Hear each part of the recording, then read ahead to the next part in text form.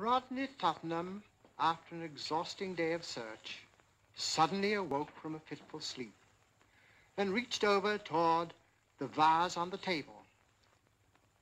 When suddenly, electrically and without warning, it was shattered. the curse of the Tottenhams!